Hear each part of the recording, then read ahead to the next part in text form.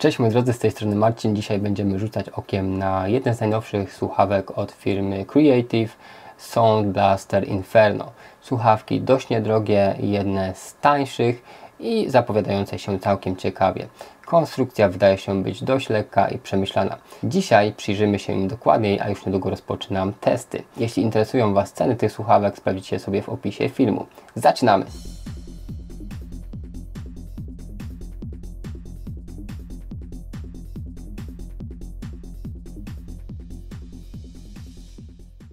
Tak więc przed nami Sound Blaster Inferno.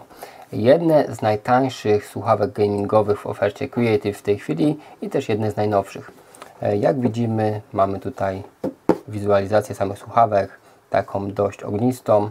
Powerful Audio, czyli potężny dźwięk zaprojektowany dla komfortu i analogowe połączenie, czyli oczywiście mini jacki. E, kompatybilność z PlayStation 4, warto sobie to wiedzieć też i Mam tutaj, do czego możemy podłączyć te słuchawki e, z rozgałęzieniem do PC, do karty dźwiękowej, do laptopa oraz e, z czteropinowym mini jackiem do konsoli przenośnej lub PS4 do smartfona, do tabletu. Widzimy też same słuchawki poprzez opakowanie, ale zaraz się im przyjrzymy. Mamy też Williama Lee, który tutaj o tych słuchawkach się wypowiada e, w samych superlatywach. Tak więc mamy rekomendacje gracza League of Legends, czyli LoLa i takie cechy podstawowe, duże 40 mm przetworniki Full Spectrum, wygodne pady, 4-pinowy mini jack i pilot, a także odczepiany mikrofon. Oczywiście Creative poleca też do tego dodatkowe swoje produkty, e, żeby uzupełnić ten e, zestaw. Szukam specyfikacji, chyba znalazłem, tak więc no, bez zaskoczenia od 20 Hz do 20 kHz, jeśli chodzi o pasmo przenoszenia, 32 ohmy oporności i czułość 115 dB. E, mikrofon kondensacyjny, funkcja niwelacji hałasów i pasmo przenoszenia od 100 Hz e, do 15 kHz przy czułości minus 40 dB. E, no, ten zakres nie za duży, ale zobaczymy jak to wyjdzie w praktyce. Nie ma co oceniać po samych specyfikacjach, ponieważ niejednemu to już wyszło na złe. Ok, wysuwamy słuchawki. Tutaj raczej sterowników nie będzie, bo skoro tylko mini jacki, nie ma USB, to nie są potrzebne. E, natomiast mamy tutaj jakąś gwarancję, dodatkowe 3 miesiące gwarancji, jak zarejestrujemy słuchawki i taką prostą instrukcję. I słuchawki, moi drodzy, już odczepiamy. Czerwony przewód widzimy i powiem Wam tak, e, pierwsze wzięcie do rąk i słuchaweczki naprawdę bardzo, bardzo lekkie. E, nie było podane gramatury, natomiast zważymy je sobie na pewno do recenzji. E, nie miałem okazji testować modelu Fatality, czyli tego takiego znanego, niedrogiego modelu gamingowego, natomiast widywałem go na zdjęciach, w recenzjach, więc mam wrażenie, patrząc na te słuchawki Inferno, że jest to taki następca tych Fatality. E, generalnie są ładnie wykonane na pierwszy rzut oka, ale przyjrzyjmy się im bliżej. Pałąk bez żadnego logo, plastikowy, natomiast elastyczny bardzo. Od spodu poducha z materiału, dość miękka, taka gąbeczka. Oznaczenia prawa, lewa. Prowadnice niestety plastik, ale w tańszych słuchawkach jest to standard rozszerzają się tak, więc dość dobrze. Prowadnice są dość grube, tutaj jeśli chodzi o materiał, o przekrój, natomiast nie są tutaj za szerokie, ale robią wrażenie dość wytrzymałych. Zobaczymy w testach. Potem mamy błyszczący element ozdobny, dobrze, że nie ma tego dużo. Następnie mat, y, trzymający cały tutaj ten zespół z przetwornikami.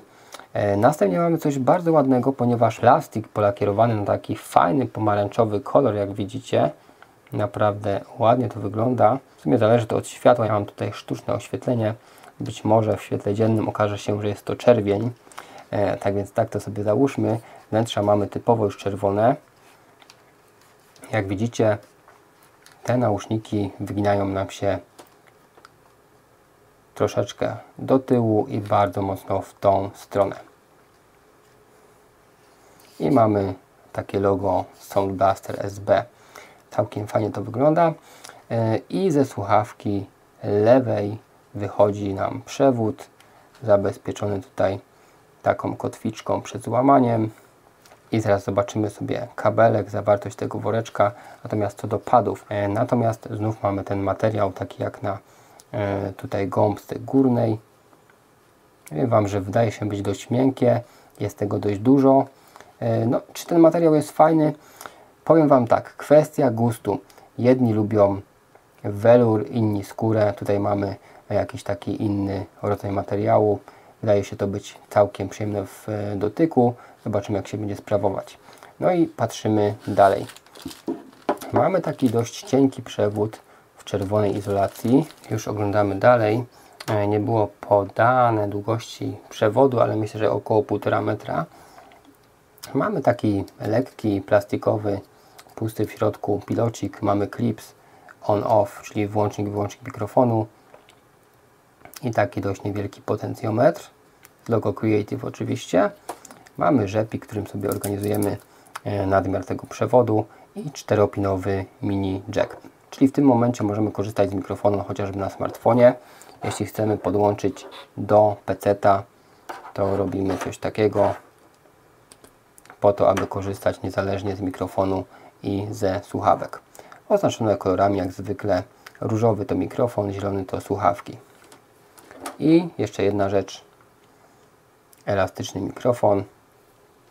Szukamy gdzie jest ten port. O właśnie do tego przegapiłem. Widzicie, mamy wycięcie, więc dobrze go e, ułożymy i całość wygląda wtedy tak.